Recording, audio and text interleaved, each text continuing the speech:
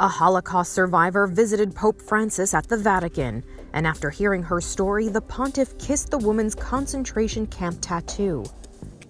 Lidia Maksymowicz was just a toddler when she and her family were sent to the Auschwitz Birkenau death camp. While there, she was subjected to horrifying experiments by the notorious Nazi doctor Josef Mengele. Over a million people were killed at Auschwitz Birkenau.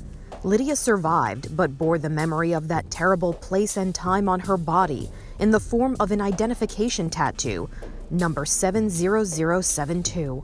She was ultimately adopted by a Catholic Polish family. Now in her early 80s, she often speaks to schools and other groups about her experience. After she shared her story with the Pope, she rolled up her sleeve to show her number 70072. Francis kissed the mark, and the two hugged. This is Inside Edition Digital.